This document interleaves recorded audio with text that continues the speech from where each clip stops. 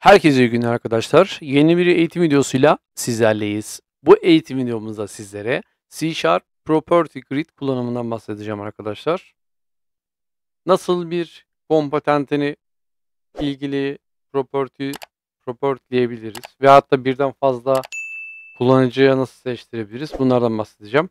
Konuyla alakalı detaylı makale okumak istiyorsanız csharpeğitim.com.tr'den ulaşabilirsiniz. Aynı zamanda videonun altında bu makaleye ulaşabileceksiniz.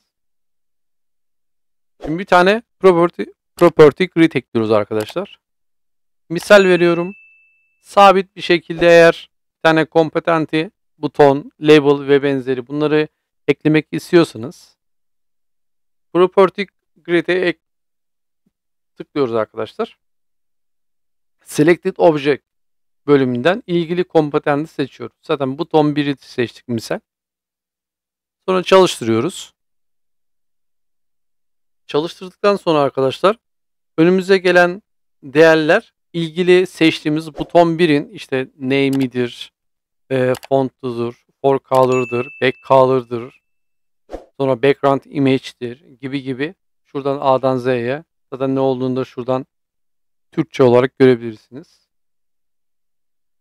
Misal tekstini değiştirelim. Misal login diyelim buna.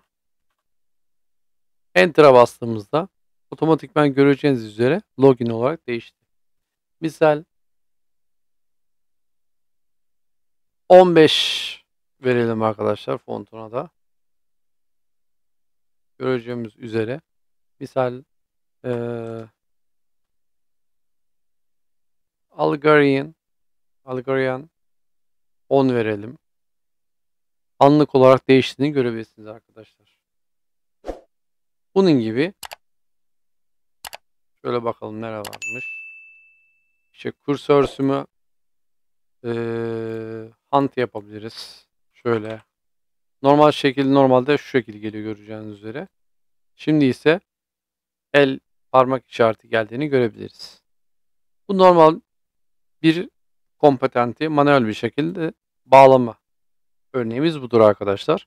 Peki birden fazla nasıl bağlayabiliyoruz? Ondan bahsedelim. Yani burada ne yapıyoruz? Kullanıcıya veriyoruz. Kullanıcı değiştirmesi için. Onun için de ben hızlı olması için bir kodu yazdım. Bir tane daha doğrusu iki tane comma box'ımız var. Birinde isimler var. Diğerinde ise objeler var arkadaşlar. Forumlu hatta bir tane list oluşturdum kontrol olarak. Bütün forumdaki kontrolleri bu tüm nesnelere aktardım. Sonra ise CommaBox 2'ye yani asıl gözükene ilgili item ismi ile get name'i verdim arkadaşlar. En son ise CommaBox 1'e yani bunun altındaki ne ise bu nesneyi aktardım data source'üne. Şimdi selected e, index e, selected index change eventinde ise arkadaşlar buradan seçili olan e, CommaBox 1'deki seçi items'indeki e, ilgili nesneyi veriyoruz. Seçilen nesne olarak. Fakat hangisini? CommaBox 2'deki selected index'ini. Yani eşleştirme yaptık burada. En son aşamada ise property grid 1 nokta selected object seçili objeyi buradan aktarmış oluyoruz. Nasıl olduğunu hemen görelim. Burada da manuel bir şekilde kullanıcıya bırakarak misal kullanıcı geldi misal burada ne yapmış? CommaBox 2 diyor. İsmi de CommaBox 2, CommaBox 1 ve hatta label 2'ymiş. İsmi neymiş? Label 2. Şuradaki gözüken text verisi. Sonra button 2'ymiş. Text verisi. Button 2 misal. Buton 2 yapalım. A'dan Z'ye sınıflandıralım. Login buton diyelim. Ya da cancel diye geri git diyelim veyahut da.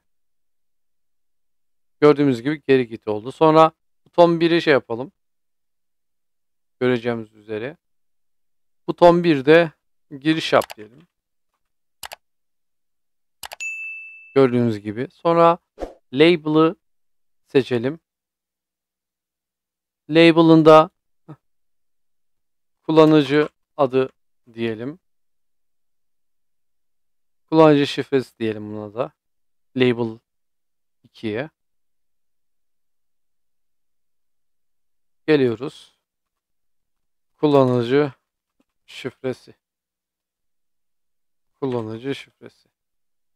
Göreceğimiz üzere anlık olarak bütün forumdaki kompetentleri rahat bir şekilde kullanıcıya isim isim ismini işte font color'ını for color'ını düzeltiyorum fontunu flat style'i mesela flat style'ı değiştirelim butonun 2'nin standart varmış mesela pop-up yapalım misal bunların gibi işlem yaptırabiliriz arkadaşlar.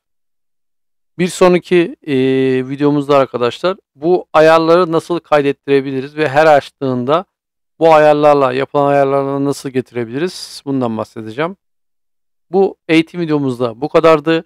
Bir sonraki eğitim videolarımızda görüşmek üzere. Herkese iyi günler diliyorum arkadaşlar. Kanalımıza abone olmayı unutmayınız.